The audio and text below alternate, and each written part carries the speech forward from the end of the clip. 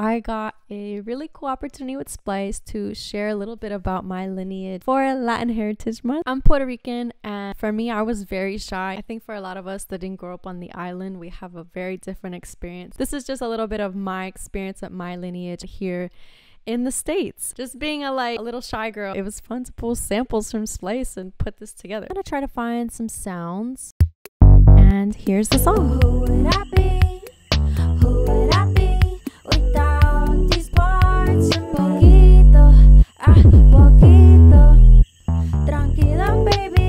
time to see it. Forgive